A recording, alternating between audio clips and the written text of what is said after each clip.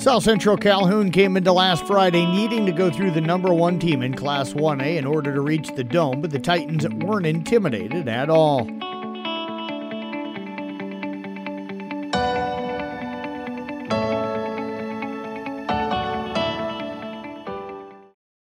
Keep watching as we take this time to thank our sponsors Roselle Mutual Insurance, McFarland Clinic, and Mackey Motors. On the Bulldogs' very first drive, South Central Calhoun would pick up a big fourth down stop just as Van Meter was approaching the end zone. Three receivers right, one man left. Potoff looks left. He'll throw over the middle, and it's touched and knocked down, incomplete. South Central Calhoun holds. Nice play. Jordan Kamanabong knocks it away. Multiple times throughout, Van Meter would recover their own fumble, but the one time South Central Calhoun put the ball on the ground, it was the Bulldogs that were all over it.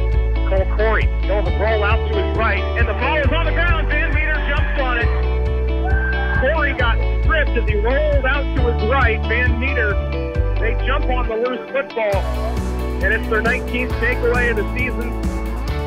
The South Central Calhoun turnover would lead to just three points for Van Meter, but three points in the game to go to state could mean going home empty handed.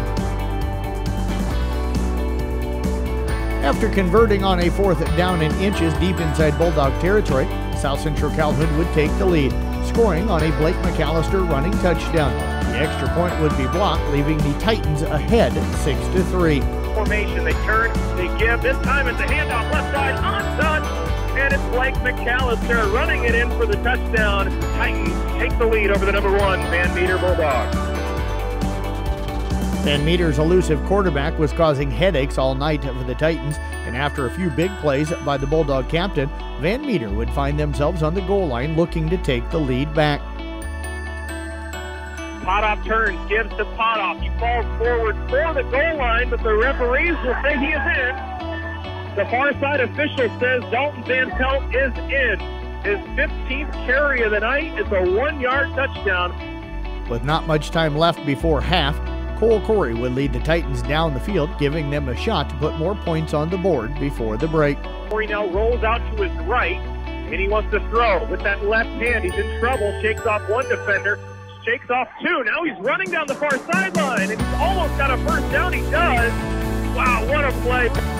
After some missed opportunities, the Titans would settle for a field goal, but following the miss, South Central Calhoun would leave for halftime empty handed and down at 10 6. The second half was a grudge match, both teams threatening on offense, but each defense would make big plays to stop the other's drive. Van Meter would end up draining most of the fourth quarter clock, facing a fourth and long deep inside South Central Calhoun territory, the Titans could not get a stop and have about a minute left to try and win the game. Bart Potoff looks to throw, he'll air it out, open to the end zone, caught at the two, and the Bulldogs don't get the touchdown, but that'll move the chain. And the 18-yard play caught by Blade Coons, his first catch of the night, will be the hook, line, and sinker. Yep, they don't have to run the play. All they need to do is take a knee. So the number one ranked Van Meter Bulldogs will win tonight 10 to 6, assuming they'll take a knee. Titans, no timeouts left. They'll run into that quarterfinal roadblock once again. We would like to congratulate the South Central Calhoun Titans on a miraculous season and wish you the best of luck going forward.